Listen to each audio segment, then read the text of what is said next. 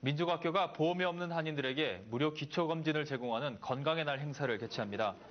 진료 과목은 내과와 치과, 한의과이며 혈압, 콜레스테롤, 체질량 지수, 자궁암, 유방암, 그리고 골다공증 검사 등도 실시합니다. 무료 건강검진 외에도 대장암 교육과 자가 검사 도구를 배포하며 의료계획에 대한 세미나도 함께 진행합니다. 건강의 날 행사는 이번 주 토요일인 25일 오전 9시부터 오후 3시까지 놀수 알리웃 11135 모리스 스트리트에 있는 연합 선교교회에서 열립니다. 예약한 사람이 한해 검진을 받을 수 있으며 예약은 민족학교로 하시면 됩니다.